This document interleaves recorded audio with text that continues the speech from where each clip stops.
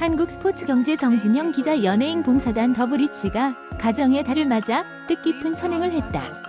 더브릿지는 5월 가정의 달을 맞아 서서울 호수공원에서 안미 신월 지역 아동센터 아동들과 즐거운 시간을 보냈다. 더브릿지는 방송인 겸 사업가 김혜분이 단장으로 있는 연예인 봉사단이다. 이날 봉사에는 가수 베이지, KBS 이선영 아나운서, 강승현 PD, 미스코리아 유혜미, 팝페라 듀오 라보엔 등 많은 celebrity들이 함께했다.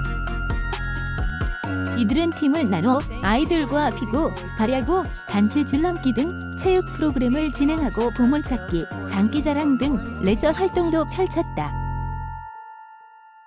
지난 2017년 1월 창단한 더브릿지는 다문화 이주 여성들의 자립을 돕기 위한 강좌를 시작으로 미혼모 여성을 위한 봉사, 남대문 쪽방촌 배식 봉사, 데이트 폭력 근절 캠페인 등 여러 의미 있는 활동을 해오고 있다.